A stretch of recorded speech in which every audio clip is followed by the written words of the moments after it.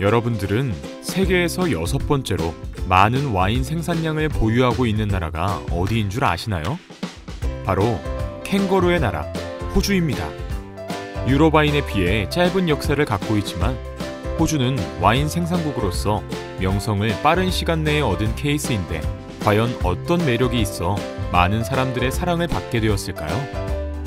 호주 와인의 매력 7가지. 지금 바로 알려드립니다.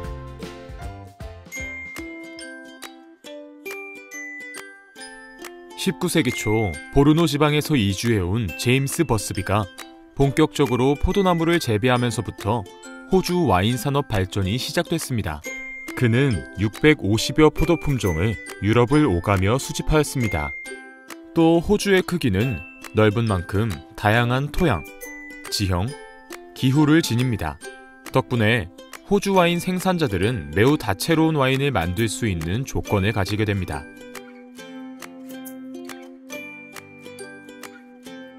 1800년대 말 유럽은 와인의 재앙이라 불리는 필록세라로 인해 폐허가 된 후 새 나무들을 심었습니다. 하지만 유럽에서 뚝 떨어진 호주는 이런 재앙을 피할 수 있었죠. 이로 인해 1853년 프리드리히 코흐가 호주 바로사밸리에 심은 무르베르드 품종 나무는 2013년 세계에서 가장 오래된 포도나무로 기록되기도 했습니다. 150살이 넘었지만 아직도 여전히 맛 좋은 포도송이를 매달고 이것으로 와인을 만든다고 하네요.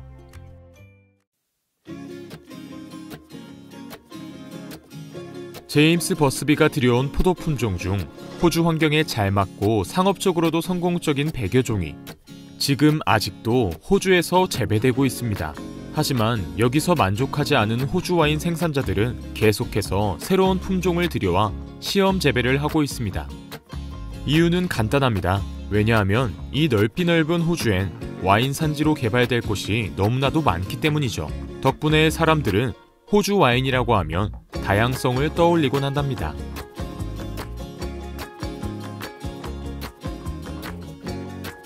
어느 나라나 각 지역의 특산물이 있기 마련이죠. 예를 들어 우리나라의 상주하면 곶감, 영덕하면 대게 이런 식으로 말이죠. 호주 와인도 이런 식으로 품종을 이해할 수 있습니다. 바로사벨리는 쉬라즈 품종, 에덴벨리는 리슬링 품종, 야라벨리는 피노누아 품종이 대표적으로 알려져 있습니다. 이런 와인들을 호주에서는 지역 영웅, 즉 regional hero라고 부르기도 합니다. 그리고 이렇게 호주에는 60개가 넘는 산지별로 대표 품종과 와인들이 있으니 전 세계 사람들의 입맛을 두루두루 만족시킬 수 있다는 장점이 있습니다. 따라서 호주 와인을 고를 땐 내가 좋아하는 포도 품종을 고르고 그 품종으로 유명한 지역을 찾으면 됩니다.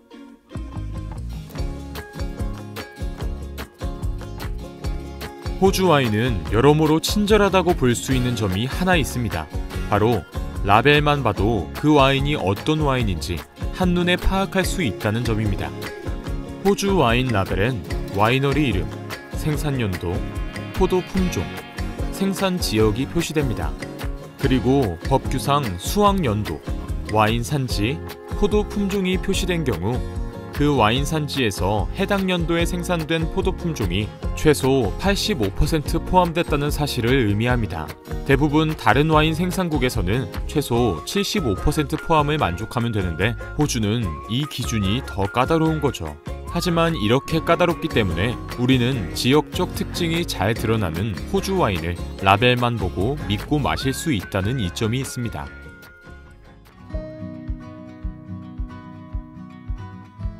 호주 와인의 특징 중의 하나는 스크류 캡입니다. 일부 고가 와인을 제외하고는 거의 대부분 와인들이 코르크가 아닌 돌렸다는 뚜껑을 사용하고 있습니다.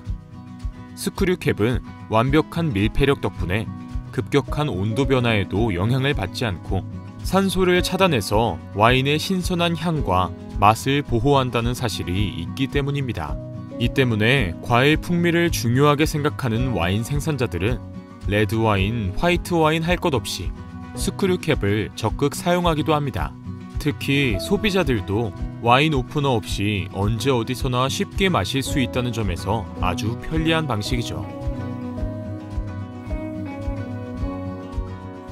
호주 와인은 계속해서 발전하기 위해 1983년에 와인 양조 전문 교육기관을 설립하여 수많은 양조자들을 육성하고 최신 기술 도입에도 힘을 썼습니다.